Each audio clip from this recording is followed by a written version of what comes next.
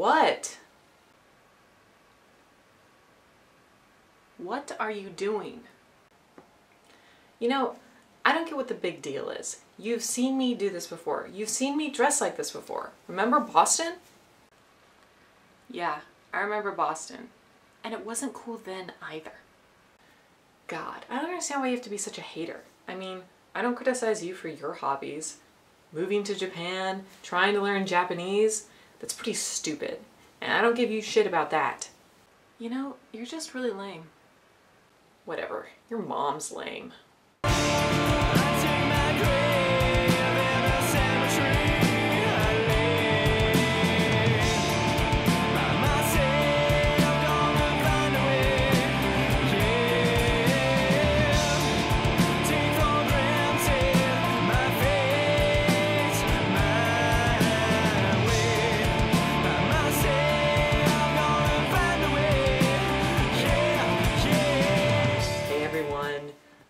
Zombie Constantine here.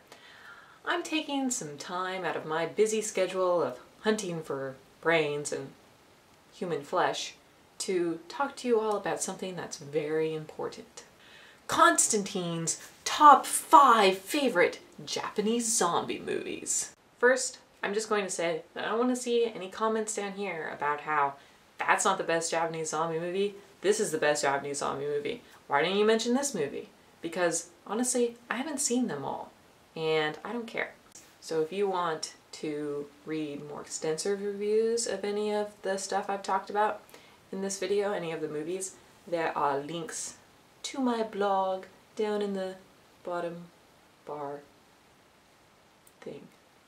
Alrighty, at number five, Stacy, Undead Japanese Schoolgirl. Ooh yeah. This movie is pretty interesting. It's not perfect and I don't really understand it, but I don't know. I thought it was uh, pretty, pretty decent, pretty worthwhile. It's directed by Tomomatsu Naoyuki and it's based on a novel by Otsuki Kenji. So hopefully the novel makes more sense. It kind of felt like this movie was trying to say something the whole time, but didn't really manage to say it. The movie is basically about how, for some inexplicable, unexplained reason, uh, all of the girls in the world between the ages of 15 and 17 start turning into zombies and their parents and boyfriends have to kill them. Yeah, I don't know what's up with all these movies where you gotta like kill Japanese schoolgirls.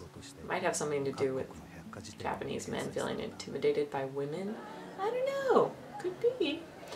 This movie has everything that a Japanese zombie movie could possibly have in it. It's got schoolgirls, zombies, duh. Uh, mad scientists with glasses, uh, old dudes having sex with young girls, uh, soldiers, guns, girls in cosplay outfits who like to fight zombies. I mean, really, it's got it all. Most importantly, it's got some really great genre spoofs in it, like uh, the Romero repeat kill troops, kill your daughter and we'll take care of our own, sanctioned by the UN to repeat kill Stacy's. And uh, Bruce Campbell's right hand too, which is apparently a nice handy chainsaw appliance that you can use to kill your daughter with. So uh, it comes in multiple colors. So if you're looking to accessorize while you slaughter hordes of the undead, this is the way to go.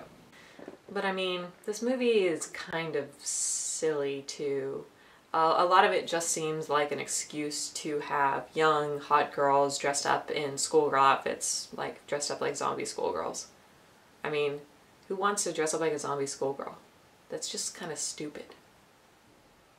So, Stacy's pretty decent. You should watch it. Or maybe you should watch it while you're drunk. That might make it more enjoyable. So yeah. Number four. Versus.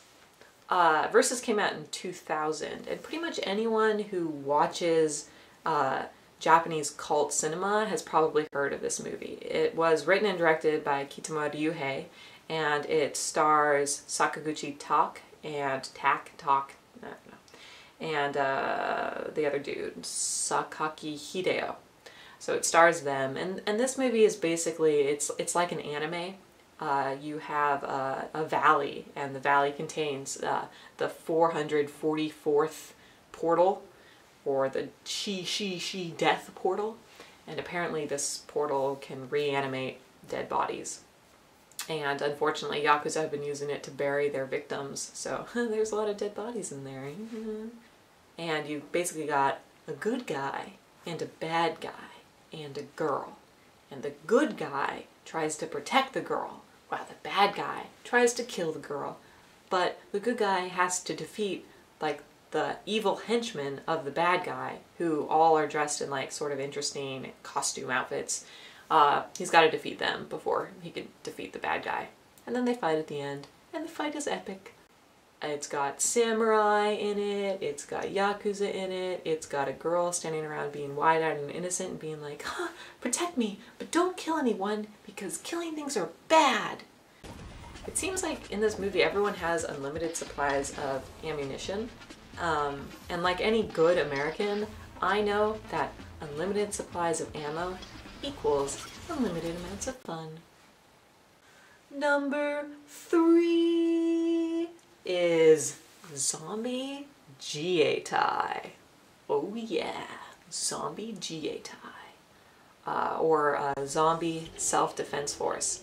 This movie has got to be the most ridiculous genre spoof I have ever seen. It was also directed by Tomomatsu Naoyuki, who did Stacy. Um, and it's it's got like it's like Stacy. It's got everything in it. It's got aliens and zombies. I don't know why Japanese movies like to connect aliens and zombies because they don't have anything to do with each other. But it's got aliens and zombies and yakuza and chimpira and bitchy manipulative Japanese pop idols. But I mean, really, is there any other kind of Japanese pop idol? I didn't think so. Uh, and it also has inept Japanese soldiers. It has uh, ghosts of World War II Japanese Imperial Army soldiers. It has, uh, and oh, most importantly, it has uh, female androids in it. So that's not the love. It also has some pretty uh, funny commentary uh, about World War II and post-war Japan and the Jietai, the Japanese Self-Defense Force, which is, it's always getting shit from all sides. I mean, the right wing doesn't like them because they're too weak. The left wing doesn't like them because they go against Article 9. I mean, no one likes the Jietai. It's a, it's a tough break for them.